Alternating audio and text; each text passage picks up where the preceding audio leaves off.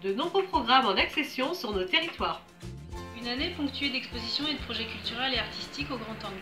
Et toujours un accompagnement unique pour vous guider dans tous vos projets. L'ensemble des équipes Imoja se joint à moi pour vous souhaiter une très belle année 2021.